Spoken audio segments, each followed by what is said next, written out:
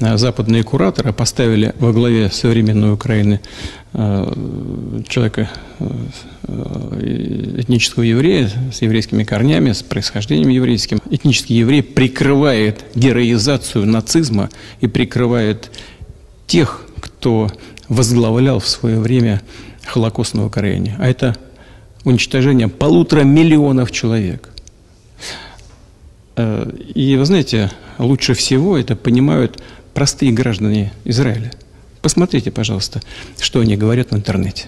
Путин вновь вспомнил о еврейском происхождении нашего президента. Он сказал, что западные кураторы поставили во главе современной Украины этнического еврея и прикрывают таким образом э, героизацию нацизма. Это отвратительно заявил он. Ну, меня тут, в принципе, ничего не удивило. Меня удивил конец э, этой речи, в которой он сказал, что вы посмотрите, что о нем пишут евреи в интернете. И тут, я думаю, что Путин э, и интернет – это что-то новое. То есть он читает какие-то, возможно, комментарии евреев.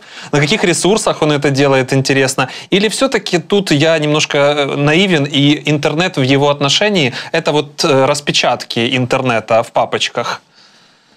Конечно, конечно. Э, я бы сказал так, вы не наивные, а это, это реальность такая, что он просто показал, что его же постоянно критикуют, и ему же все-таки там какие-то люди докладывают, что вот у него э, э, имидж такого деда консерв... консер... законсервированного в, в, в Советском Союзе, который не, не, не звонит по мобильному телефону, не пользуется интернетом, не пользуется мобильной связью, не знает ничего современного. И таким образом он показал, что, по крайней мере, слово ему такое известно, но э, мы с вами точно знаем, что никакой, никаким интернетом он не пользуется, ему просто делают скриншоты, значит, распечатки э, э, всяких этих подборок. Причем я вам должен сказать еще вот какую вещь. Там, где он попал, в собственный, он попал в просак и э, под влияние собственной пропаганды, потому что мы понимаем, что ему сделали скриншоты с тех э, форумов, где пригожинские тролли под личиной э, якобы израильских евреев пишут всякие гадости про Зеленского, а потом Путину это распечатывают и говорят, вот видите, как, как евреи пишут про, про Зеленского. Вот. Но это на самом деле, э, вот, вот я, я думаю, что это такие распечатки ему показывают. А мне, знаете, кажется, по принципу его тотальной дезинформации, его же спецслужб, эти распечатки, они даже не имеют ничего общего к людям, которые пишут. Просто в фотошопе у дизайнера заказали э, дизайн комментариев и уже готовый текст вписали, распечатали и все, и будь здоров. А, ну, э, в следующий раз, я думаю, мы увидим э, Путина, который уже будет ссылаться на ТикТок.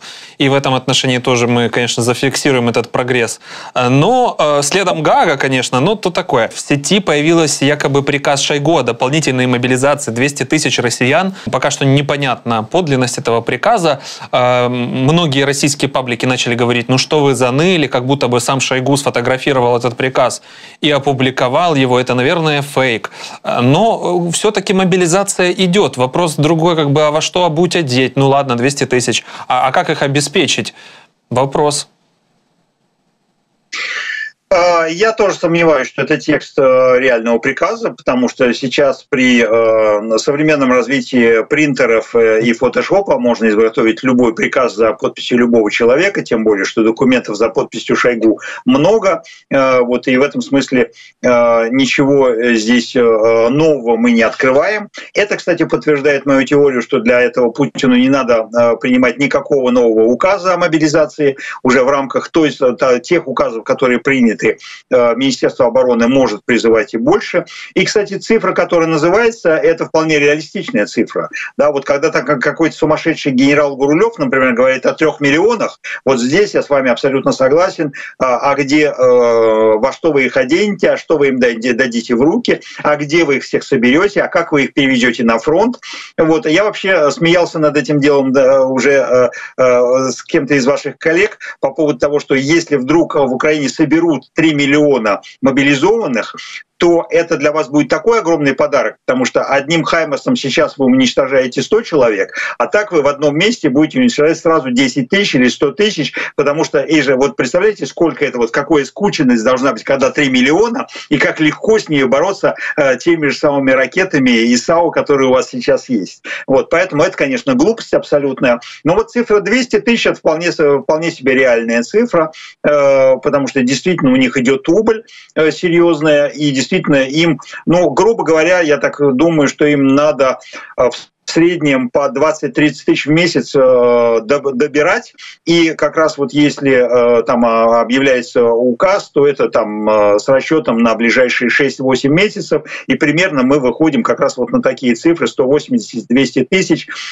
И это, мне кажется, это вполне достоверные цифры. Даже если это, эм, так сказать, есть сомнения в тексте самого, самого документа. Экс-генсек ООН Пан Гимун а, предлагает новый способ способ засудить Россию за войну в Украине. Он предлагает создать новый специальный международный трибунал для преследования преступлений агрессии России против Украины. Насколько вот это будет рабочая история с учетом того, что вот мы имеем опыт, допустим, того же ООН и их заявлений, что им недостаточно, видите ли, фактов для того, чтобы признать э, то, что делает Россия в Украине геноцидом. Ну и, в, конечно же, в свете выборов э, американских, которые будут происходить, тоже на себя очень много будет внимания уже забирает, а поближе там вообще будет очень много на себя внимания забирать. Поэтому, мне кажется, вот эти вот инициативы, они могут просто раствориться э, в потоке. Нет, вы знаете, давайте не будем, э, так сказать, заранее настраиваться на негатив. И если у нас есть положительные новости, ее надо, э, ей надо насладиться. Знаете, э, если у вас есть кусочек сахара, то давайте съедим кусочек сахара, а потом уже будем э, там смотреть, сколько нам еще надо будет стаканов соли э, выпить после этого дела. Вот, э, поэтому это заявление э, значимое, потому что э, бывший генсек ООН это не просто э, лицо, это лицо, которое облачено Э, неким э, авторитетом международным. И э, идея вообще о создании специального трибунала по преступлениям России в Украине – это самая свежая идея, самая правильная идея. Ее регулярно какие-то люди оспаривают, говорят, что это не нужно делать, что, в общем, ничего из этого не получится. Поэтому, когда такой значимый человек, такой уважаемый человек поддерживает такую идею, этим надо насладиться и сказать, что это очень правильная вещь. И это сыграет свою, я надеюсь, свою, э, свою роль положительную в продвижении этой идеи. Про российского летчика хотел с вами поговорить, чтобы вы поделились своим мнением насчет того, той спецоперации, которую провели наши разведчики, и вот перегнали этого летчика с вертолетом Ми-8. Фильм опубликован на YouTube-канале ГУР. Очень, очень интересный фильм, всем советую к просмотру. Меня затянуло, я зашел на 5 минут посмотреть по касательной, на 40 минут там остался. Очень интересный, динамичный материал. А, хотелось бы услышать вашу оценку вот этой вот спецоперации и Конечно же, наша сторона, она говорит о том, чтобы другие летчики брали с него примеры, перегоняли и дальше эту технику. Но я думаю, что лавочка теперь будет прикрыта максимально. Они теперь до девятого колена все там жучки поставят на всю семью каждого летчика. Хорошая, интересная история. Это история блестяще проведенной Э, вербовки и специальной операции э, управления разведки украинских э, вооруженных сил блестящие, потому что трудно провести вербовку в мирном городе очень трудно провести. А когда это дело ведется э, в состоянии войны через линию фронта э, с использованием современных средств связи, э, то это вдвойне интересно. Плюс к тому же мы видели, как это было сделано, то есть там филигранно все это договорились, вывезли его семью сначала, прежде всего, прежде чем в Э, прежде чем это состоялось в э, укромное место и э, защищенное. Потом только он вывел этот свой, свой летательный аппарат, причем вместе со всем экипажем, который он использовал в темную, который, к сожалению, для него закончился мрачно, потому что они не захотели сдаваться и поэтому были уничтожены на месте. Вот. Плюс там были значит, детали к истребителям, штурмовикам российским. То есть он привез очень солидную солидную э, э, передачку, так сказать, с другой стороны да. Э, фронта. Вот, и показал, как все это дело функционирует. То есть, на самом деле, он э, сказал, что он подписался на телеграм-канал э, управления разведки, там, значит, читал материалы, интересовался ими. Каждый материал есть, значит, при нем давали, давали ссылочки, как установить конспиративную связь с управлением разведки. Он создал, значит, чат секретный со службой, начал обмениваться. Все это заняло, конечно, большое количество времени. И, кстати, это вам ответ э, на то, что вы говорите, теперь они обложат. Да ничего, никого они не обложат, у них сил нету. У них сил и средств нету, потому что если бы они могли обложить, тогда бы этого человека уже обложили бы давным-давно. Они не смогли обложить Пригожина. Они не смогли обложить... Вот представляете, Пригожин вывел вместе с собой 10 тысяч человек с тяжелой техникой, и его никакая военная контрразведка не могла просчитать, не, могла, не смогла э, доложить вовремя об этом деле, не смогла предотвратить этого. Сдали Ростов, город-миллионник, сдали командный пункт южной группировки войск э, с э, заместителем министра обороны и с первым заместителем начальника разведного управления Генштаба Российской Федерации. Нет у них сил и средств для того, чтобы с этим бороться. И они живут в каменном веке, потому что им точно так же, как и Путину, делают распечатки в папочках. Ну, согласен. Но мы же не можем исключать фактор их анализа текущих событий и э, работы над ошибками. В любом случае анализ будет проведен, и вот вы считаете, что после этого анализа все-таки вероятность э, все равно будет оставаться, и это окно возможностей для пилотов российских переходить на нашу сторону? Э, анализ будет проведен, э, возможно, э, я не убежден, что его доложат, я не убежден, что из него сделают выводы, потому что если бы делался анализ, то Путин никогда бы не начал эту войну. Если бы делался анализ, Путин ее пригласил бы через полтора месяца после того, как потерял половину своих сил и средств. Если бы делался анализ, тогда бы не было генерала Суровикина, не было бы Пригожина, не было бы Гиркина, не было бы еще чего-то. То есть не надо переоценивать, э, конечно, э, э, их аналитические способности, но я с вами согласен, не надо недооценивать этого дела. То есть лучше исходить из того, что у них анализ есть, что они делают, потому что что они делают работу над ошибками. Кстати, на фронте мы это видим все-таки, да, потому что на фронте они сделали работу над ошибками, и э, линия защиты Суровикина сработала. Э, да, это было тупо, да, вот они расставили там эти зубы драконов, которые которые, в принципе, ни от чего не защищают, но все-таки затрудняют э, существенно прогресс э, наступления, разбросали огромное количество мин. То есть, в общем, конечно, работу над ошибками они делают. Вот. Но это не означает, что все на этом закончится.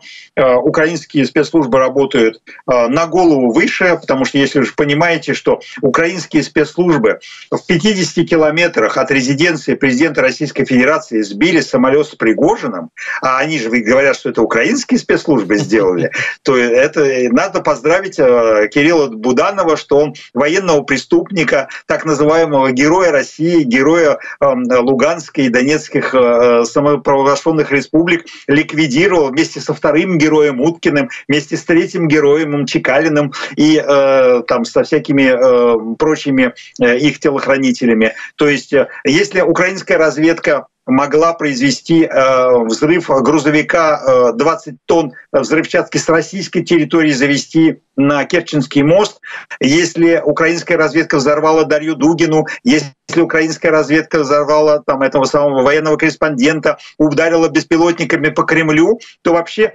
нет страшнее разведной силы, чем украинская разведка сейчас в мире. Да, не равен час, когда все-таки дойдем до цели покрупнее. Ну, это их пропаганда, которая, да, постоянно на, на своих же этих ошибках и спотыкается. Дочь Путина э, продолжила публиковаться в научных э, журналах США и Швейцарии после начала войны.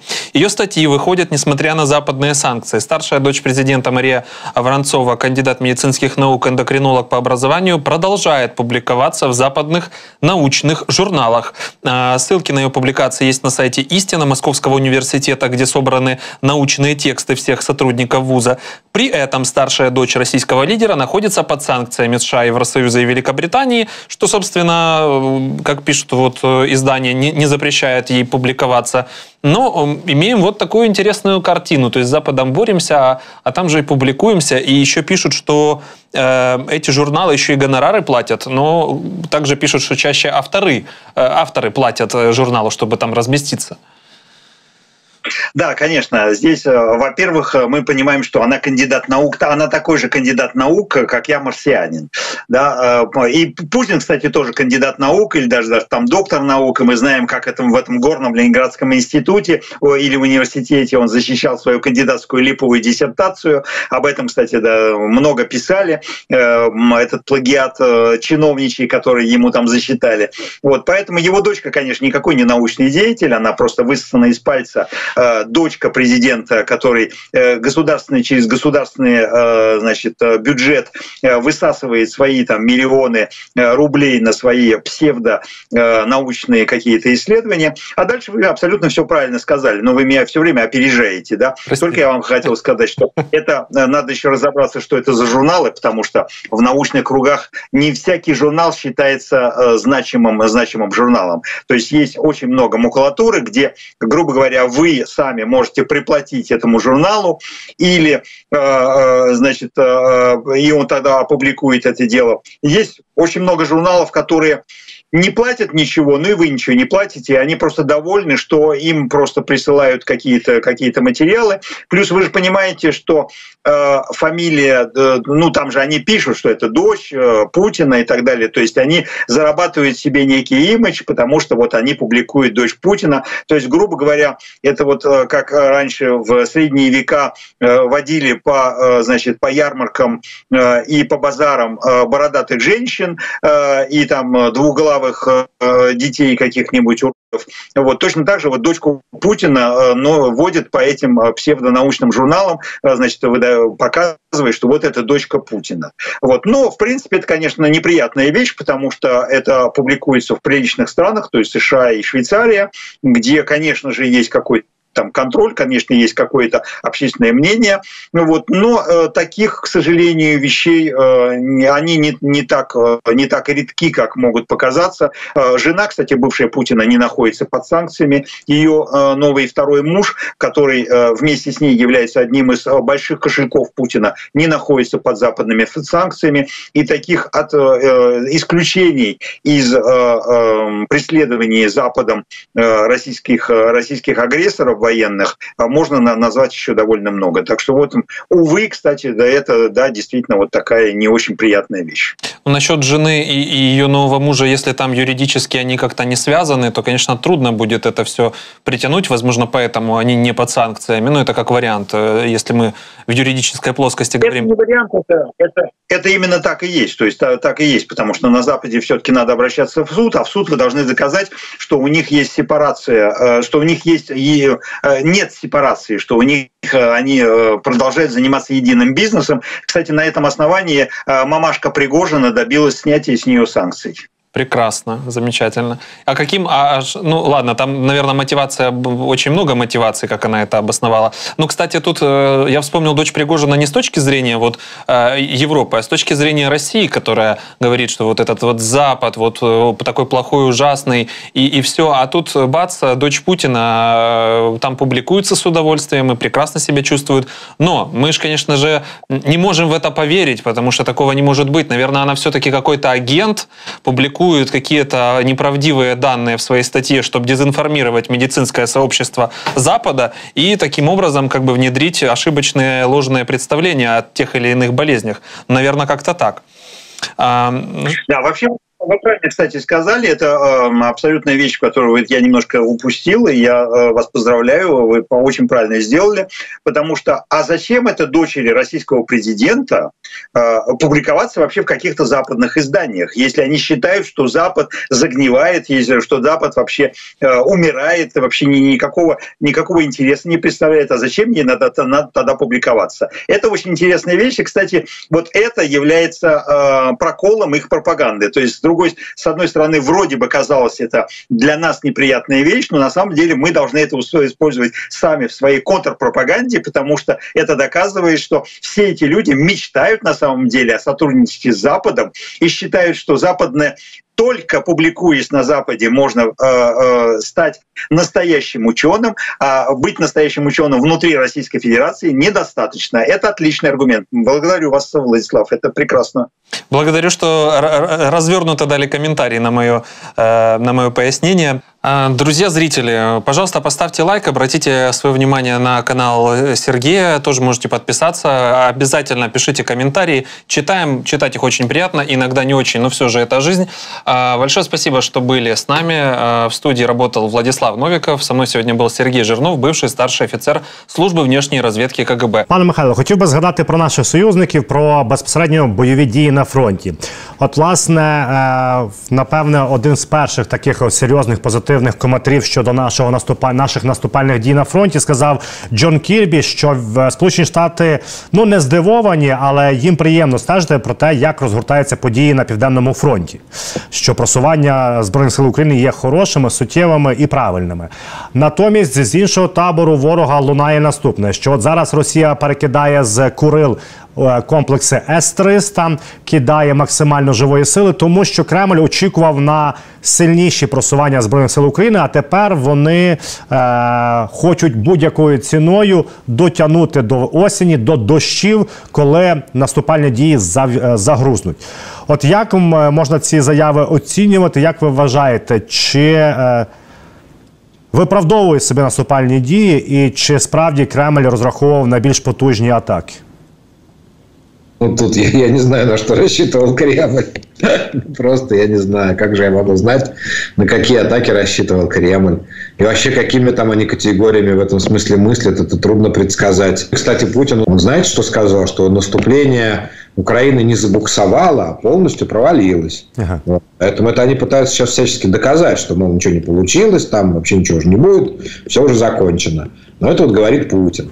В это же время, например, эм, Александр Глебович Невзоров э, пишет э, в своем, как это называется-то, господи, Телеграм. в своем телеграме, в телеграме пишет о том, что э, у него, что, что по его сведениям, сейчас в Токмаке и Мелитополе россияне сжигают документы, отступая, ФСБшники и так далее. Ну вот, все, что я могу сказать. То есть, мнения расходятся. Поэтому сказал, вы сейчас вопрос задаете про какие-то, знаете, сбылись ли прошлые пожелания россиян по какому-то поводу. А я даже не знаю, какие у них были пожелания. Поэтому как я могу сказать, сбылись ли они? Я же до конца не знаю, где сегодня наши войска. Я думаю, вы тоже не знаете. Ну, ориентуюсь. Ну а. так, нет. Ну, в смысле, я имею в виду прямо вот в онлайн-режимі нам про це не сообщають. Ну, осознанно і правильно. Так, так, це все правильно. Так. І навіть всі мапи, які нам малюють, начебто там діпстетя, більш впевнений, що Генштаб з ними давним-давно проговорив, що можна, а що не можна наносити. Что... Мы уже убеждали, что это все как бы на несколько дней назад каждый раз действительно. Ну, в смысле, когда на, для, до нас что-то доходит, это то, что было несколько дней назад. Поэтому сейчас как бы говорить, что-то там удалось, что-то не удалось, основываясь на картах несколько дней дневной давности. Ну, слушайте, есть очевидные факты, которые... Давайте, какие факты точно всеми признаны? Ну, кроме россиян, но россияне в данном случае не, не, не игрок. Признано прорыв первой линии обороны на юге? Признан. Э, признано, что это 60% там ну, вот наш генерал сказал 60%, mm-hmm. да, но и западные генералы, в принципе, похожие вещи сказали. Признано, что это 60% всех усилий россияне вложили в эту линию обороны. Признано. Соответственно, хорошо ли оцениваются шансы, высоко ли оцениваются наши шансы на то, что мы перережем э, железную дорогу и автомобильную дорогу, которая, собственно, соединяет вот, сухопутный коридор крымский. Да, признано, что высока вероятность, что у нас это получится. Ну, все, это была цель наступления. Вот на юге это была цель наступления и ничто больше. Не освобождение Мелитополя или Токмака пока. Нам нужно перерезать эти дороги, и тогда все. Тогда Мелитополь и Токмак, они упадут сами нам в руки, как Херсон. Понимаете? Поэтому на юге пока это выглядит как э, победа наша. Ну, пока. То есть она ще не достигнута, но пока Однозначно. буде. Пане Михайле, якщо почитати слова колишнього посла Сполучених Штатів Америки в Росії Макфола, він каже наступне: що от Путін нічого не боїться, а от панічно боїться а, втратити. Контроль над Кримом. От це єдиний такий страх його в цій от війні. А мы слова Макфола воспринимаем как слова с какой стороны сказанные. Это как бы в защиту Путина, они на стороне вообще России или цивилизованного мира? Вопрос у меня возникает. Я почему такое спрашиваю? Потому что я помню, как накануне войны вышла статья Макфола, я не вспомню ее точное название и даже место, где она, по-моему, в Атлантик канцлере вышла, могу ошибаться. Но называлась она что-то типа «Понять Путина». Угу. Да, и предлагалось там, собственно говоря, нет, он не в смысле там э, вроде пророссийский, он всегда был вроде как, естественно, западный человек. Но там было что-то такое, что надо учесть интересы Путина. У него тоже, на, на его стороне тоже какие-то вот своя правда. Мы не должны на него так давить и передавливать, потому что надо договариваться. И про Крым там было, что вот Крым же надо, ну, типа, в конце эта статья сводилась к тому, я помню, примерно. Там не было дословно этих слов, сразу не ловите меня, да? Что Крым давайте мы отдадим, и тогда Путин успокоится. Отдадим ему просто Крым, чем мучаемся-то?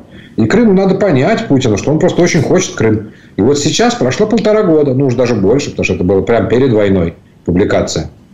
И вдруг снова, смотрите, как интересно, да? И снова вдруг э, Крым, вот это Путина там прям очень важен. То есть, что хочет сказать Макфол? Подарите Путину Крым? Он так хочет сказать. Ну, раз Крым для Путина важен, он должен прийти к одному из двух выводов. Либо, раз Крым так важен, давайте бить по Крыму бесконечно и его освобождать, чтобы уничтожить Путина. Да? Но он этого не пишет. Макфол этого, этих слов не говорит.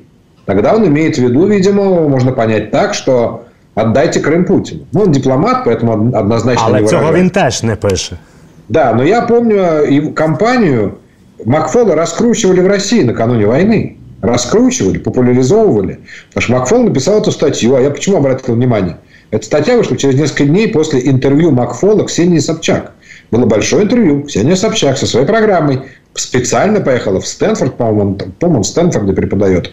Она поехала в Стэнфорд встречаться с Макфолом, и там брала у него интервью, и после этого выходит эта статья. И я подумал, о, комплексные меры, так сказать. Собчак раскручивает Макфола, Макфол выдает статью. Поэтому я бы на эти статьи как бы с очень большой опаской смотрел. Я не уверен, что они в нашу пользу. Там нет вывода, давайте срочно взрывать Крымский мост и давайте срочно уничтожать російську групировку в Криму. А пане Михайло, а можна вважати або принаймні розглядати заяви Макфола, аля як Кісінджер і йому подібні? Да, конечно. Да. Конечно, абсолютно. В каком, ну, в одном смысле. Не в смысле содержательном, а в смысле того, что Макфол на сегодняшний день это, грубо говоря, аналитик, там, бывший политик и так далее. И относиться надо так же. Это люди, которые... Это, это важная функция в американском политикуме выдавать, генерировать мысли. Для этого у них есть синктенки. Вот у нас синктенки появились не так давно, и их деятельность, в общем, не, не так много среди них настоящих синктенков. В основном такая профанация. Хотя есть настоящие, конечно. В Америке же синктенк – это прямо такой, такие институции, которые существуют уже десятки лет. Э, и у них есть репутация у многих из этих синктенков.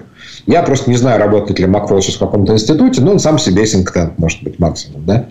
Поэтому все эти вещи, да, важны, да, учитываются. Нельзя к ним относиться легкомысленно. Якщо говорити про наших союзників, от в Бундестазі сказали наступне: що насправді ті ракети Таурус, це аналог Storm Shadow і Скелп французьких, вони ж ну, і довший радіус 500, але це вже частина військова. Е, власне, проблема в Шольці, що от вся коаліція хоче їх надати, а не хоче надати тільки Шольц. От як ви вважаєте, це вже якісь пішли внутрішні е, боротьба в Німеччині? Чи справді Шольц е, реально в своїй особі побоюється надавати ракети, які теоретично можуть діставати цілі на території Російської Федерації. Хоча ми вже продемонстрували нашим союзникам, що ми не використовуємо західну зброю за межами України. Все время выдвигает некий ряд требований. К танкам у него было требование такое, что да, мы дадим вам танки, но вторыми. Угу. Вот какая-то страна даст, мы будем вторыми. И поэтому пришлось американцам дать Абрамсы, чтобы немцы стали, ну, третьим, потому что челленджеры еще британцы дали. Сейчас с Таурусами там тоже такой же вопрос у Шольца. Простой, кстати, вопрос-то. Он говорит, Товарищи инженеры германские, можете с этой ракетой сделать что-нибудь, чтобы она не залетала на российскую территорию? Инженеры сказали, подумаем. Он сказал, как только инженеры сделают, мы передадим. Он же это, по сути, говорил. Ну, я не помню, своими устами или устами каких-то своих помощников. Но сейчас одна проблема осталась. Чтобы эти ракеты не били по территории РФ. Потому что ракеты, которые нам до этого давали Storm Shadow и Скальп, они бьют на 250 километров. Ну, экспортный вариант. А у Тауруса нет экспортного варианта. Почему? Почему у британцев и французов есть экспортный вариант, а у немцев нет? Немцы не собирались экспортировать ракеты средней дальности никому и никогда. Вот, поэтому они не подготовили экспортного варианта. Сейчас они над ним работают, смогут сделать, дадуть ракети. А пане Михайло, ще існує така думка, теорія, гіпотеза, що власне Шольц, німецька влада не передає Тауруси, тому що тут банально є німецький менталітет, що суспільство, особливо німецьке, повинне побачити виваженість і логіку в прийнятті будь-яких рішень. Тобто, не, не може бути такого, що подзвонив Зеленський, алло, Шольц, дай ракети, та Зеленський даю, тримай. Тобто завжди логіка, виваженість і зваженість, або бодай демонстрація цього. Не, ну логика ну, как раз она понятна. Смотрите, вот у нас есть ракеты, только два, два типа ракет Storm э, Скальп, которые бьют на такое расстояние ракеты типа Земля-Земля. Других нас, а, да, извините, воздух-Земля, они к тому же, воздух-Земля. Других у нас нет. Эти ракеты позволили нам изменить во многом положение дел на фронте. Потому что россияне больше не могут свои крупные склады делать ближе, чем 250 километров от линии фронта это во многом решает, решает. Потому что вот сейчас мы перережем дорогу и железную дорогу. И где у них будут склады после этого? Склады придется делать там, не знаю, в Хакасии. Нет, не Хакасия, как она у них называется, республикой. Ай, не помню. Ну, там у них, короче, туда, ближе к Кавказу. Потому что иначе все, ракетами добьем. Ну, в Ростове, там, на территории России придется делать эти склады. Вот. Но ракет Storm Shadow и Scalp просто физически не хватает. Во всем мире есть одна тысяча ракет Storm Shadow и 700 ракет Scalp. Я не знаю, сколько их нам дали. Ну, хорошо, нам дали, например, 200 или 300. Но это прям в очень хорошем варианте нам дали 300 таких ракет. Нам просто их не хватает, а других нет. Вот у немцев есть, а ни у кого больше нет.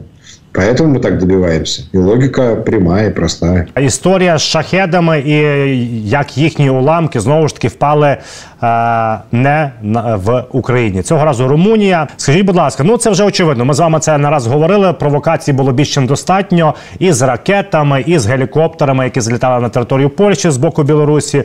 Е, на таке реагувати, як мінімум, ніхто не буде, так і тим паче уламки шахедів. Але це може бути свого роду тиск з боку України на партнерів для можливо виконання якихось ще е, постачань зброї чи виконання ще якихось обіцянок, пришвидшення їх. Ну, мы, конечно, пытаемся так делать, но понятно, что из-за этого Румыния в войну не вступит. Это точно. А получим ли мы за это какие-то, так сказать, новые? Ну, получим несколько, может быть, зенитных установок, что тоже полезно на войне, почему бы нет. Вот. Но мы все время пытаемся, конечно же, преувеличить чуть-чуть. Ну, в смысле, вот, типа, называем это словом шахеды сначала, а не словом обломки. Но не всегда получается.